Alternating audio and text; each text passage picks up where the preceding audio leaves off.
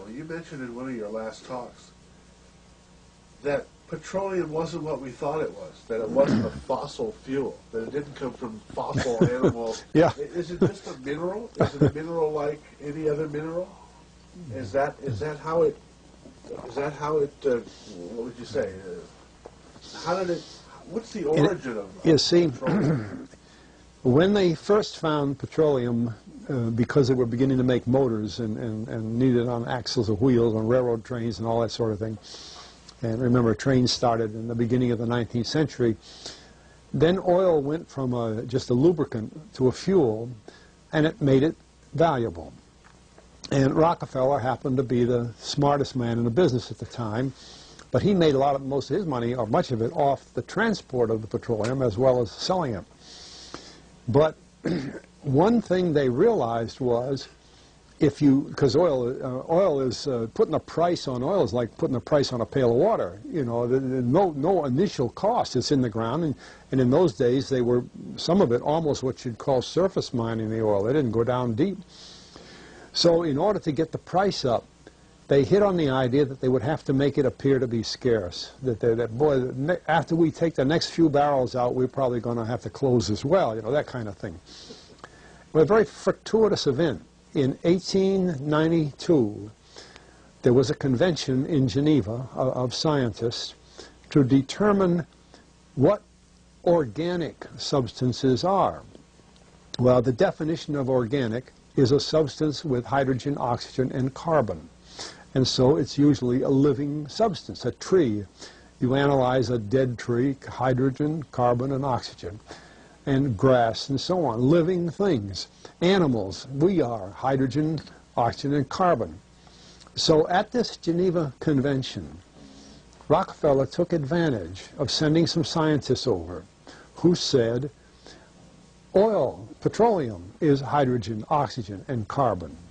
Therefore, it must be derived from the, uh, the spoiling, the rotting of formerly living matter. And uh, playing the game properly, when the, this scientific convention was over, they defined oil as a, the residue from formerly living matter.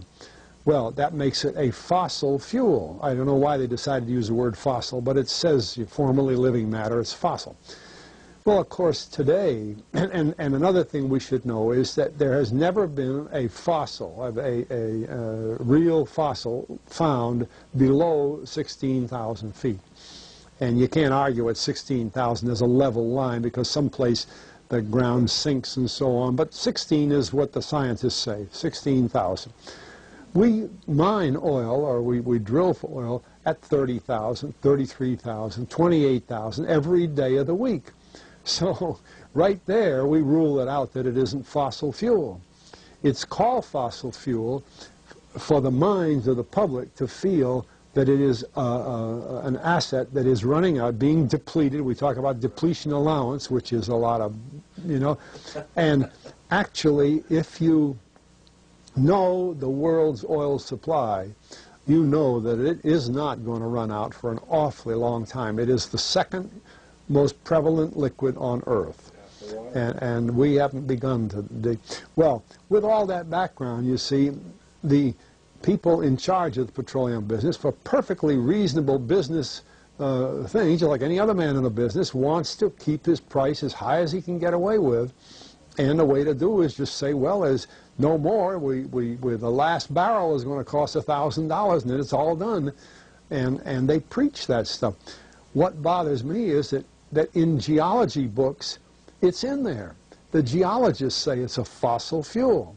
They, they've somehow they've been bought. I mean, you, I, I went to a four-year federal staff energy seminar run by the government of the United States during the so-called energy crisis. I was the participant that represented the railroad industry. The airline industry was there. Every AA, administrative assistant of senators and congressmen was there. The CIA was there, the Defense Department was there, the State Department was there. Sometimes sitting right in front of me in the row would be Henry Kissinger with his friend, um, uh, the, the head of uh, Department of Defense, uh, Uh, It's too bad I can't put the names with them. But anyway, people like that, top men in the government, sitting there listening to the Federal Staff Energy Seminar. Well, what this was doing is for four years, they were teaching a propaganda line to the leading people in this country, and therefore to the leading people in the world, when you include the Hissen- uh, Kissinger and Schlesinger, among others. And the object of it was, as Kissinger used in his own terms when it was time for him to speak, to create a world price for oil. In other words, not uh, 30 cents a gallon here and 90 cents a gallon there, but let's get a world price. That's their goal, and they're trying to do that for wheat and everything else. We don't realize what what the controls are, whether it's oil or some of these other things. Almost everything today is being categorized at the highest price they can possibly make it go. And so calling petroleum a fossil fuel is the basis for th- this system uh, with respect to petroleum. And, and I went, I don't know if the name Arthur Kantrowitz rings any bell. Arthur Kantrowitz is the head of the Kantrowitz Labs set up by the uh, Avco company uh, near Boston, uh, scientific laboratories. And um, a great man in the scientific world. And Kantrowitz and I were sitting at a table at this uh, seminar once, and the table happened to be all young college grad, PhD geologists. And so just to get a conversation started, I turned to Kantrowitz and I said, Arthur, what do you think about this foolishness of these speakers talking about fossil fuel? And uh, it was kind of put up. He started laughing.